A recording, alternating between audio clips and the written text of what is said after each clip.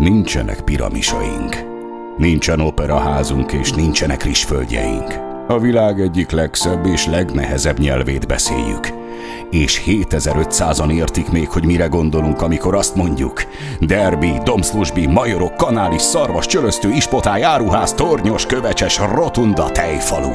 Büszkén gondolunk a világháborús katonáinkra, Krancinger fotósra és Cucpékre. Szeretjük a Dunát, a szombat reggeli piacozást és a Mikulásokat. Itt élünk Csalló közszívében, horgászni mi tudunk a legjobban, és igenis nálunk élnek a világ legszebb fürdőruhás lányai. Somorja, mi így szeretünk.